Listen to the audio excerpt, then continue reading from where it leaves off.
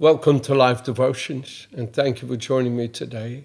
Three witnesses in heaven. First, the Father. I find these subjects so important. God makes it so unquestionably clear through His scriptures and by His Spirit in us today that He Himself bears witness of the Lord Jesus Christ that Jesus is not just any other man, that he is not just another Jewish man that happened to be prophetic, that happened to do some miracles, that happened to symbolize some of the things written in. No, no, no. Jesus is God in human flesh revealed to us. Jesus is the creator of heaven and earth. It is the Father himself who bears witness of him. Jesus said in John chapter 5, You have gone to John, for he was a burning and shining light who bore witness of the truth, and you delighted in the light that he bore, and John bore witness of me. But I have a greater witness than John. It is the Father himself who bears witness of me. It is the witness of the Father. We may believe what people say about things, but God, and you cannot escape this in eternity. All of us have to appear before God and give an account of ourselves. Have we believed what He has said upon of His Son Jesus Christ, or have we rejected what He said about His Son? And made him to be a liar. John writes about that right here. And it is so essential today that we believe the witness of the Father. Jesus, as I said to you, is not just another man like any other man. It says in John chapter 1, verse 18, and I find these verses very powerful. No one has seen God at any time. The only begotten Son, begotten means brought forth from, the only begotten Son, who is in the bosom of the Father, the intimate presence of the Father, he has declared him. He has made the invisible God visible in the body he prepared for him. As it would say in Hebrews chapter 10, verse 5 Sacrifice and offering you have not desired, but a body you have prepared for me, and as it is written in the scroll of the book of me, I have come to do your will, O God. It's a phenomenal chapter. And if you look at, for example, let me read it from this classic translation. If you go to Hebrews chapter 1, right, and the, the witness of the Father, there's three in heaven that bear witness. The Father is the first one we're talking about. And here we see that it says in verse 3 that Jesus is the sole expression of the glory of God, the light being, the outraying or radiance of the divine. He is the perfect imprint and very image of God's nature Jesus is not just any man, he is the perfect manifestation of the Father. In John 17, verse 5, Jesus is praying and he says, And now, O Father, glorify me together with yourself with the glory which I had with you before the world was. Jesus my friends, never was an angel. Jesus never had some prehistoric pre creation. No, Jesus has always been God. From everlasting to everlasting, thou art God, Moses writes in Psalm 90. He is the same yesterday, today, and forever. Hebrews 13, verse 8. He is glory in the Father, the Father in Him, before the foundation of the world, before anything ever was created. And look at Philippians 2, verse 6, please. Philippians 2, verse 6. Here it is.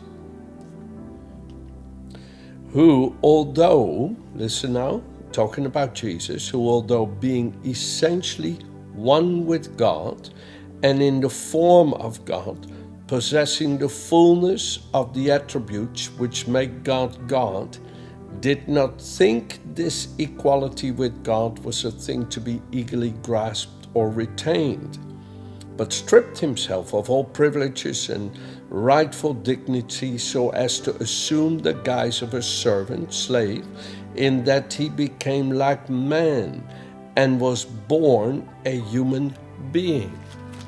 Jesus became one with us in our human nature, so to make us one with himself in his divine nature. This is an incredible revelation, dear friends. His divinity, his incarnation, that he became man and dwelled among us, and we beheld his glory as the only begotten of the Father, full of grace and truth, John chapter 1, verse 14 says.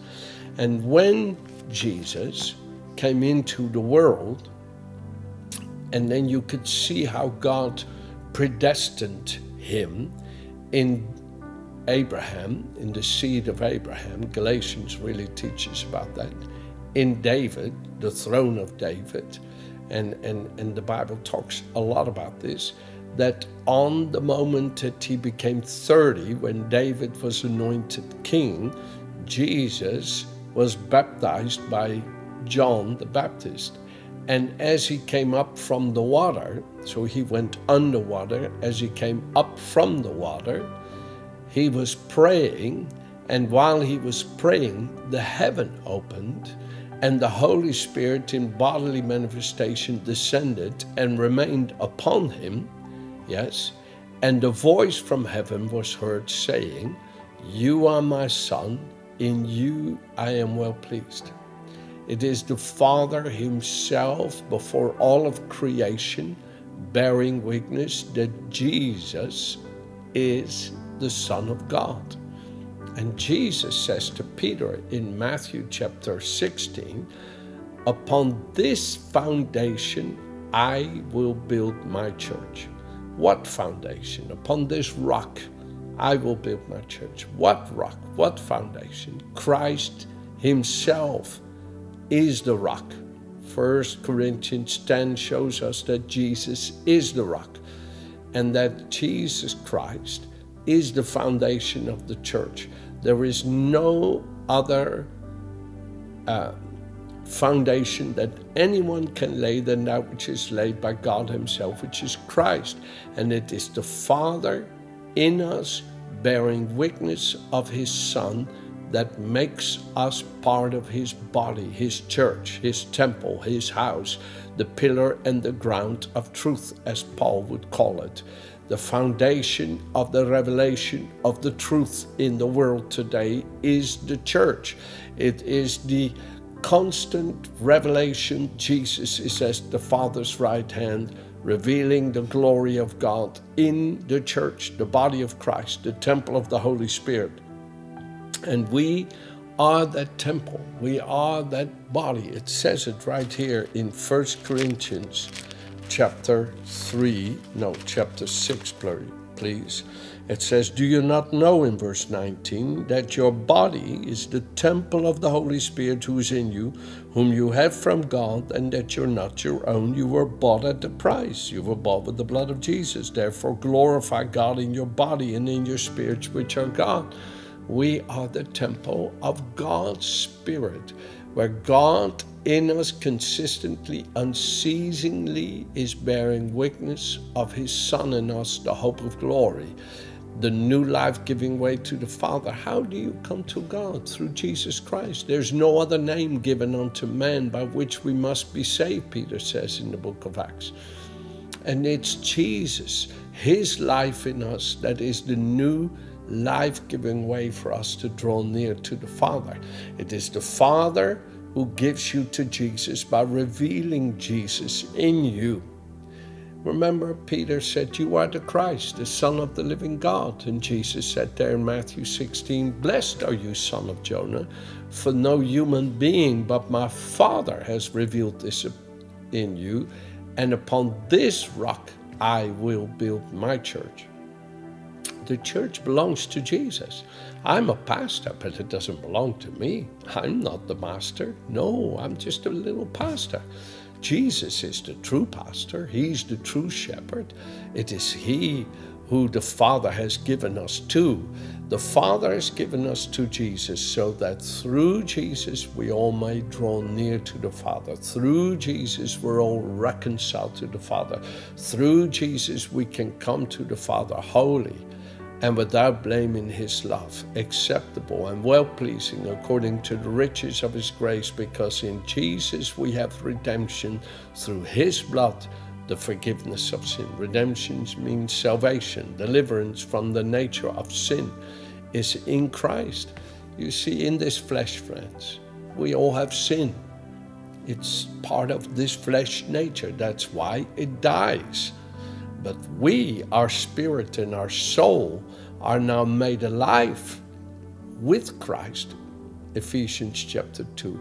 And we are now alive with Christ. His life in us makes us alive to God. His life cannot sin. Therefore, Christ Himself is the freedom from sin. All you have to do to live free from sin is get to know Jesus and believe upon Him.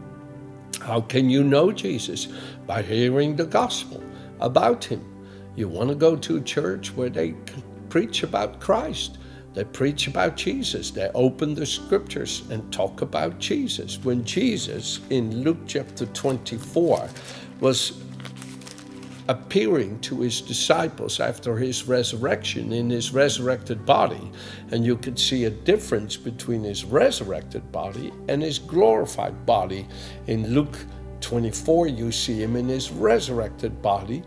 In Revelations, you see him in his glorified body. You see him in his heavenly reward of what he achieved on earth that he now has in heaven to be able to give to us.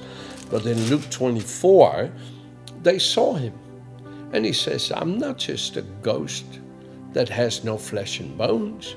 And he ate some honey and some broiled fish in their presence, and still they could not connect with it because it was too wonderful for them. So then look what it says. And he said to them, These are the words in verse 44 that I spoke to you while I was still with you, that all things must be fulfilled which were written in the law of Moses and the prophets and the Psalms concerning me. And he opened their understanding that they might comprehend the scriptures, and said to them, Thus it is written, and thus it was necessary for the Christ to suffer and rise from the dead the third day, and that repentance and remissions of sins should be preached in his name to all nations beginning in Jerusalem. And you are witnesses of this now.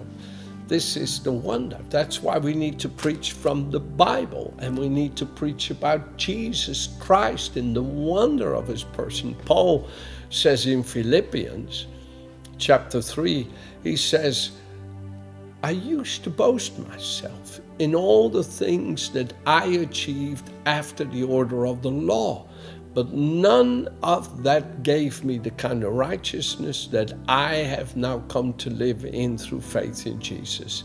And I have now suffered the loss of all these things I boasted in in achieving in my own strength for the more excellent knowledge of Jesus Christ, the surpassing worth, the supreme advantage the overwhelming preciousness of knowing Christ Jesus my Lord, to have a righteousness not of the works of the law, but that which comes from God through faith in Jesus Christ, a perfect right standing that Jesus has in heaven with the Father, that He now reveals in us through the Holy Spirit, that we may have perfect righteousness, peace, and joy with the Father, because that is the rule of His kingdom and power in all of us. And Paul understood that it was through the scriptures that our understanding are enlightened concerning Jesus, that the Father Himself from heaven bears witness of his Son in us and among us. The Apostle Peter, remember in 2 Peter, I'll close with this. In 2 Peter, the Apostle Peter, he is talking about how he was there on the Mount of Transfiguration. And he says in verse 16 of 2 Peter chapter 1, We did not follow cunningly divisive fables when we made known to you the power and coming of our Lord Jesus Christ but we were eyewitnesses of his majesty. For he received from God the Father honor and glory when such a voice came to him from the excellent glory This is my beloved Son, in whom I'm well pleased. And we heard this voice which came from heaven when we were with him on the holy mountain.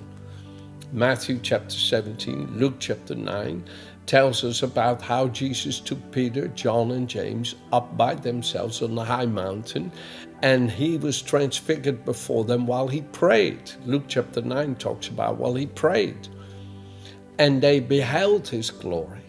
They saw the majesty of his splendor of God in him, in him in God. And he says, We heard the voice from heaven when we were with him on the holy mountain. Now look at this. And so we have the prophetic word confirmed that you do well to heed as a light that shines in a dark place until the day dawns and the morning star rises in your hearts. Knowing this first that no prophecy of Scripture is of a private interpretation. For prophecy never came by the will of man, but holy men of God spoke as they were moved by the Holy Spirit. Do you see Oh, how I love this. How I love this. Folks, stay with the scriptures. Jesus Christ is the living word, and it is through him that the scriptures are opened up to us and in us so that we may know the only true living God in Jesus Christ and come into a personal relationship with our loving Heavenly Father through Jesus, who is our reconciliation. And it is from heaven that the Father Himself bears witness to us and in us and through us that Jesus is the Christ, the Son of the living God, the power of God unto salvation, the new life giving way to the Father, our righteousness, our peace, our joy, our sanctification, our redemption, Oh my goodness, the riches, the riches that we have from the Father in Christ are endless, are everlasting, are continuously coming into us by the Holy Spirit, so that as He is with the Father, so we may be in this world. Amen. Have a good day.